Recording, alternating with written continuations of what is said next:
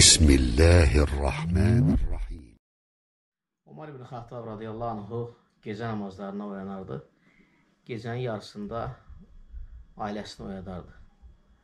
Və ailəsini oyadaraq Allah Azze ve Celle'nin bu ayəsini oxuyardı. Və amur əhləkə bis salati və stabir aleyhə La nəs'əluka rizqan nəhnu nərzuquka və ləqbətu littəqva Ailənə namazı əmr et və özün də orada səbirli ol. Biz səndən ruzu istəmirik, əksinə səni biz ruzulendiririk. Gözəl aqibət təqva əhlinindir. Və İbn Omar radiyallahu isə Allah Azze ve Celle'nin bu ayəsini oxuyurdu. Əmmən huvə qanitun ənə əl-leyli səcidən və qaimən yəhzərul əxirətə və yərcu rəhmətə Rabbi.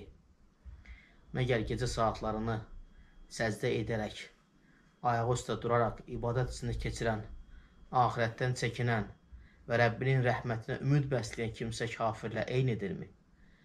Və Omar, İbn Omar radiyallahu anh bu ayəni oxuyaraq deyərdi ki, bu Osman ibn Affan radiyallahu anhudur.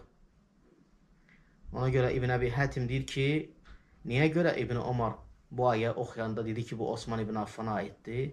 Çünki deyir, Osman ibn Affan radiyallahu anhu Əmir el-Muminin gecə namazında yəni çoxlu gecə namazları qılardı, daima gecə namazları qılardı və uzun gecə namazları qılardı. Hətta e, iki rükətdə Quran-ı kərimi bitirərdi.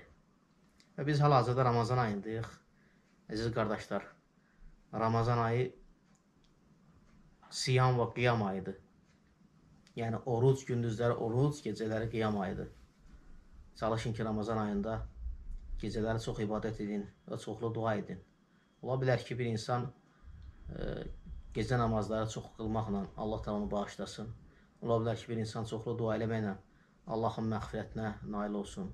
Ola bilər ki, bir insan gecələri çoxlu Quran oxumaqla Allah təala məğfirətinə nail olsun.